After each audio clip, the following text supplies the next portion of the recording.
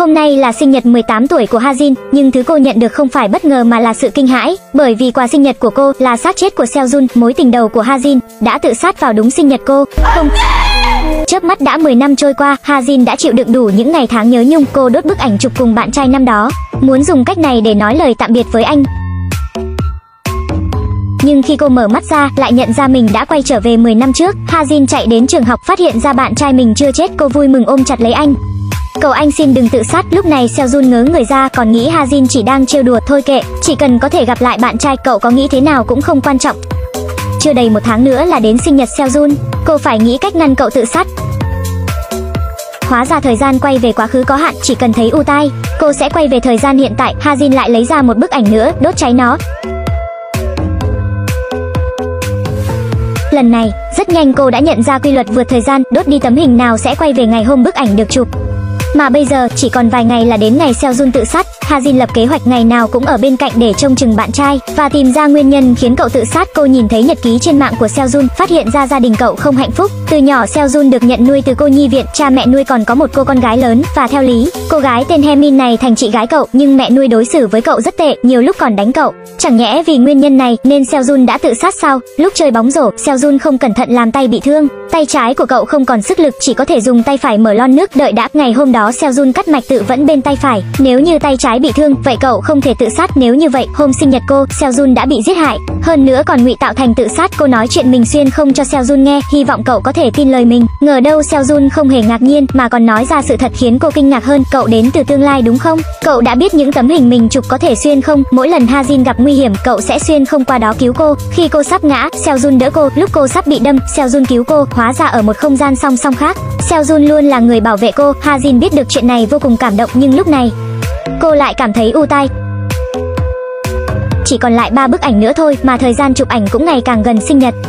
Cùng lúc đó, Hajin cũng nhận được kết quả khám nghiệm tử thi của Seojun, trong cơ thể cậu có chứa thành phần thuốc mê, cũng có nghĩa là sau khi chuốc mê Seojun, nhân lúc cậu mê man, hung thủ đã giết cậu từng manh mối dần trở nên rõ hơn. Jin quyết định bắt tay với Seojun tìm ra tên hung thủ giết người để tìm ra hung thủ muốn giết hại mình. Seojun đặt máy quay ở một góc trong phòng học đợi đến khi trời tối, quả nhiên nhìn thấy một nam sinh rất khả nghi. Nam sinh này chính là trùng trường, cậu ta thường xuyên bắt nạt Seojun, lần trước Seojun bị thương ở tay cũng chính là do tên này gây ra.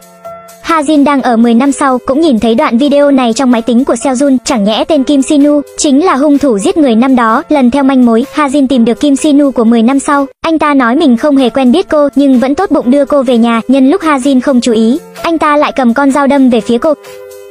Kim Sinu bị đưa đến đồn cảnh sát dưới sự tra hỏi của cảnh sát, anh ta chỉ đành nói ra tất cả, năm đó người giết Seo Jun không phải là hắn, anh ta chỉ nhìn thấy kẻ tình nghi ở hiện trường vụ án. Kết quả khi đó Seo Jun được phán định là tự sát, cộng thêm việc lúc đó anh ta rất ghét Seo Jun nên mới không khai có kẻ tình nghi, chẳng nhẽ kẻ tình nghi này chính là hung thủ năm đó. Hajin khổ sở ngồi chờ bên ngoài, thấy cảnh sát đi ra từ phòng thẩm vấn, cô vội chạy đến hỏi, là Kim Sinu làm đúng không?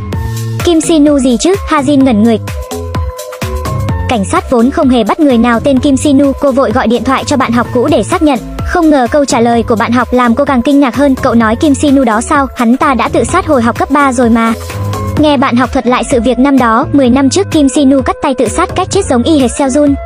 Vậy nghĩa là Kim Sinu không phải là hung thủ, càng kỳ lạ hơn là lúc về nhà cô nhận ra những tấm hình có thể xuyên không của mình, chỉ còn lại hai tấm, còn một tấm đã không cánh mà bay, xem ra trong phòng thẩm vấn Kim Sinu nhất định đã khai ra gì đó, khiến hung thủ cảm thấy bị đe dọa, vậy nên hung thủ đã đánh cắp bức hình của cô, xuyên về 10 năm trước, giết chết Kim Sinu, kẻ đã chứng kiến chuyện đó và ngụy tạo thành vụ tự sát, rốt cuộc ai đã giết Kim Sinu, và sao kẻ có biết được những tấm hình của cô có thể xuyên không? Lịch sử bỗng nhiên bị thay đổi. Hajin đành phải đốt một trong hai tấm hình còn lại quay về một ngày trước sinh nhật.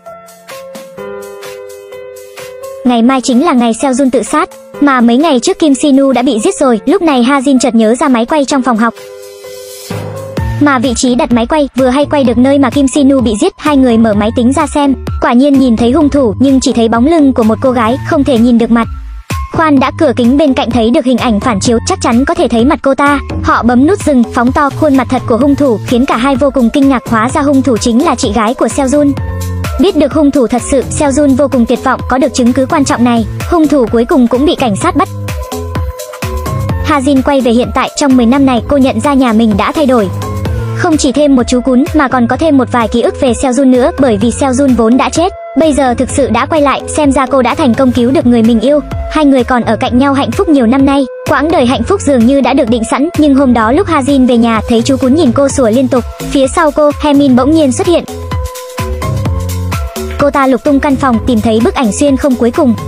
Sau đó cô ta bật bật lửa, muốn quay về quá khứ, thời khắc quan trọng, Hajin níu lại chút tỉnh táo.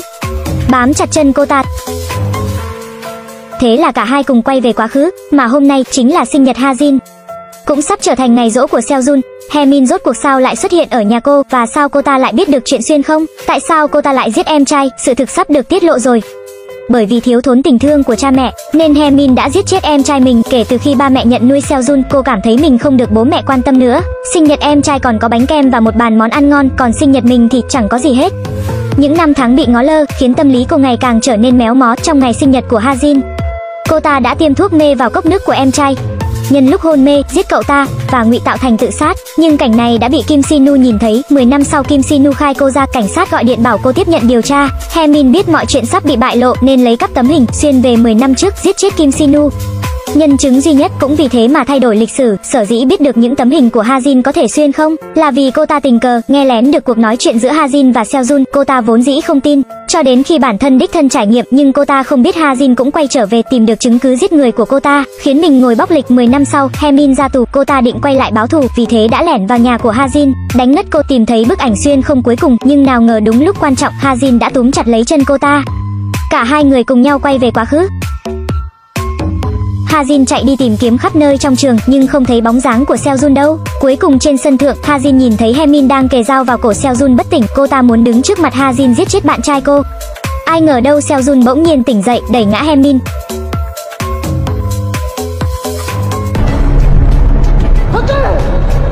Thế là Hazin đồng quy vô tận với Hemin. Seojun đau đớn bật khóc nhưng rất nhanh anh đã bình tĩnh trở lại, phải cứu Hazin lần nữa. Cậu đốt tấm hình hôm qua vừa chụp quay trở lại ngày sinh nhật của Hazin, sau khi xuyên không, Seojun chủ động đến tìm Hemin, muốn dùng ngôn từ cảm hóa chị gái, bố mẹ vẫn luôn yêu thương chị. Chị không biết sao im mồm. Lúc này Hemin như đã biến thành ác ma, cô ta cầm dao đâm Seojun. Seojun bị thương phải nhập viện cũng may không quá nặng. Kết thúc bộ phim, Seojun và Ha Jin sống một cuộc sống hạnh phúc. Còn Hemin vì giết người không thành mà bị bắt, cô ta vừa có ý định chạy trốn, liền bị một chiếc xe đâm trúng. Cuối cùng cô ta cũng phải trả một cái giá thích đáng cho những gì mình gây ra, cũng sẽ không thể làm hại ai được nữa.